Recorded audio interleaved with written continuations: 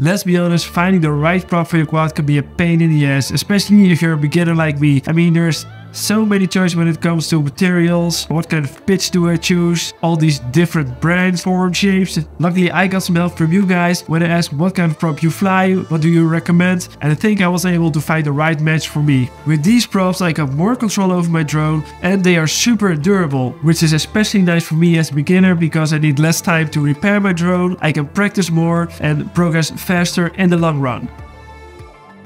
So to put the props to the test, I decided to go to the new spot I found in my previous video. Little did I know that this would lead to one of the biggest challenges I had to face in this hobby until now. So apparently the Armattan Badger frame has some well-known issues when it comes to vibrations. When I mentioned it to you guys that I had some problems with high throttle oscillations or vibrations, a few of you guys mentioned I maybe had to try some different props and I got a lot of recommendations so thanks for that and eventually I decided to go for the Ethix P1 no P3 P3 props or also known as the peanut butter jelly props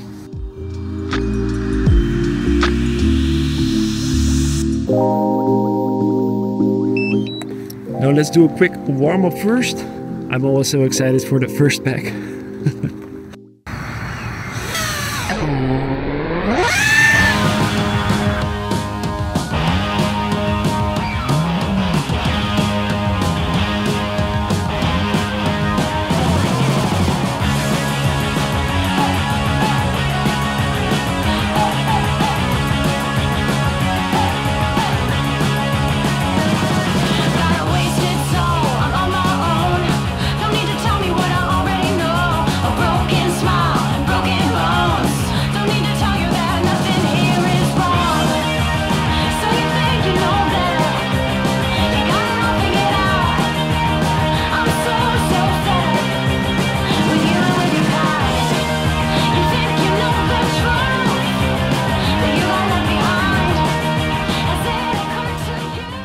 I have to admit that I'm pretty surprised how much difference the, uh, the pitch makes. I thought it was a lot of marketing BS. Yeah, I have a lot more throttle resolution, which is very nice for me as a beginner because my finger control isn't very good yet.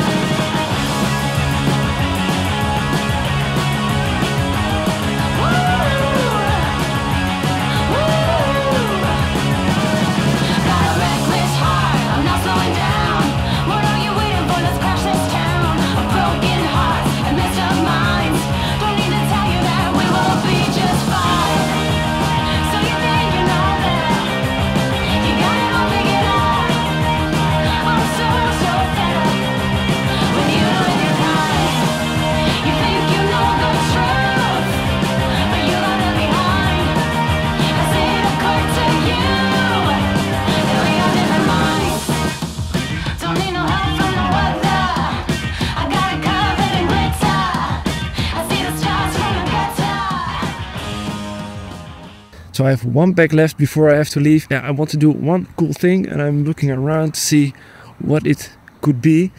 I'm always on the lookout for a new challenge, something to do before I end my session to push myself to the limit and then I saw this rope barrier. It already caught my attention a few times, I already did a few passes underneath the chain, but now I wanted to do a split S over the chain and then fly underneath it.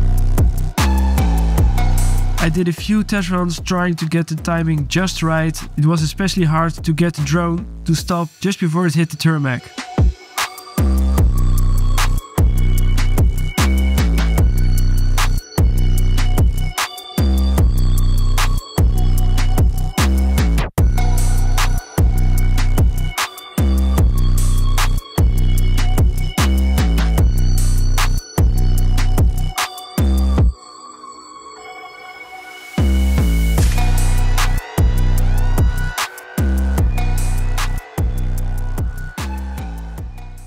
Charging one more pack at uh, 3C right now. The the pack said I am uh, only allowed to charge it up to 2C. Uh, so I took my oldest pack, uh, charging it away from my van outside in the ammo box. I hope it will be fine. And uh, if not, it must be a sign that I shouldn't try this uh, S split S today. About about the props, They took some hits, a little bit damaged, but I have to say they are very, very durable. Uh, especially compared to the previous props I had, the, the HQ prop V2S, uh, which were pretty nice, but every time when I uh, crashed upside down, they are always dent, cracked, and when they are bent, I, I just had to replace them because uh, the motors or the props sounded to start very angry. Until now, these are very nice. While everything is charging, let's take a closer look at that gap. I hope uh, everything goes well. I mean, uh, let's be honest, it's, it's not that crazy, right? Well, I can I can fit underneath myself, but I'm a little bit afraid of this uh, concrete guy. Ah, luckily the van is still there. Uh-oh, switching to the DVR view, that means something must have been gone wrong. As you can see, I bumped the belly of the drone on the tarmac, it was able to fly away and then suddenly one of the motors stopped spinning.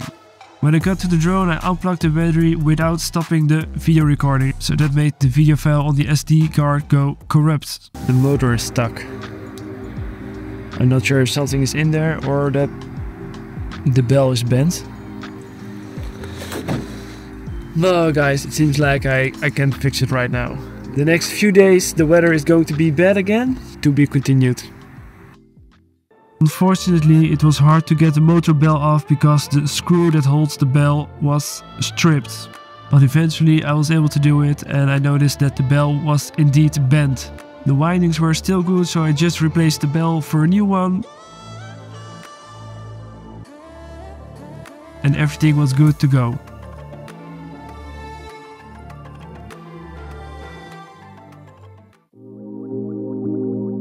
So we finally made it back to the spot almost a week later. Uh, unfortunately the weather wasn't too good, but finally the spring is kicking in. Check out all these nice flowers in this field.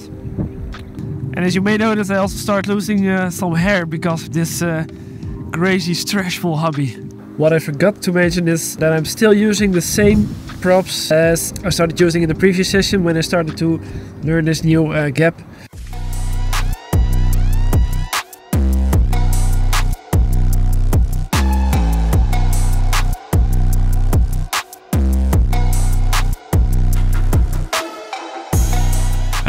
Crash really got into my head.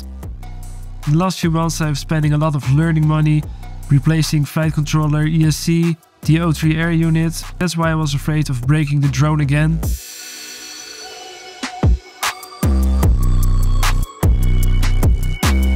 But of course fixing and replacing parts is part of the game and I really wanted to do this new trick.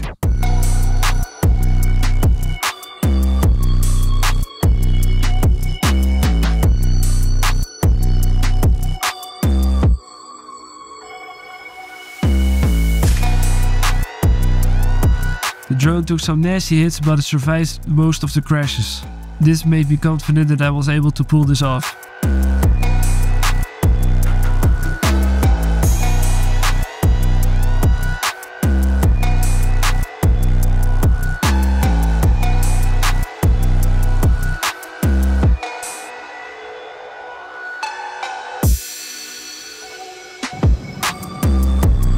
At this point I'm so tensed trying this. This is not even that, that great, right? It's just...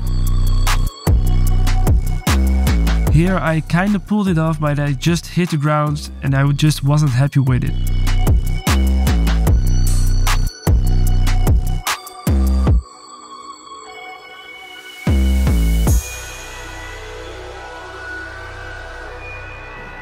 this point I got really frustrated but I kept trying. And then Yes! Oh my...